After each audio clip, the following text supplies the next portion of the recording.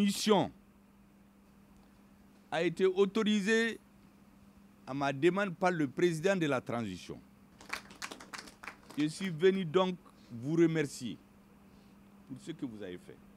La deuxième chose, il y a dix ans, la ville était occupée, toute la région. Tout ce qui représentait l'autorité avait quitté. Qui est resté?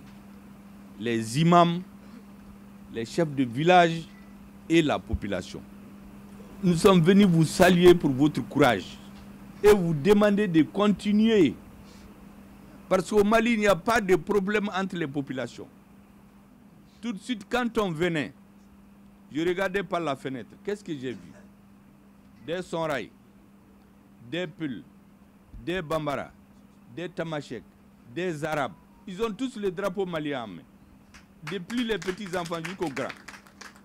Donc en réalité au Mali, il n'y a pas de problème entre vous. Vous êtes en avance sur les dirigeants.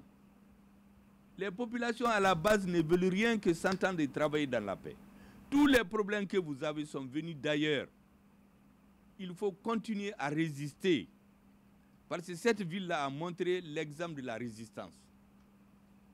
Gao a montré qu'elle est une ville historique. Quand je dis Gao, c'est toutes les populations de Gao.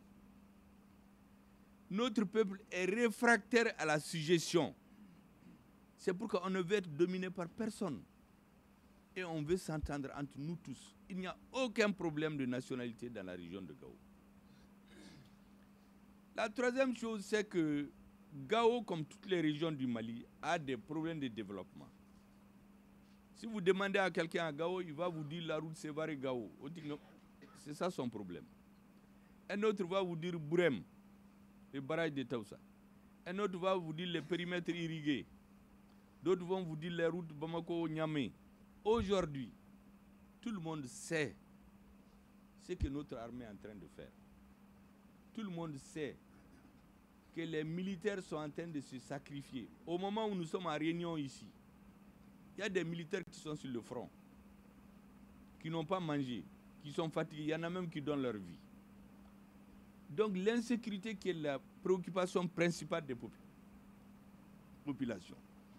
Le président de la transition, le gouvernement, avec bien sûr notre brave ministre de la Défense, ne ménage aucun effort, aucun, sur aucun de ces moyens pour que le Mali puisse être équipé. Shogel ko kala maiga mila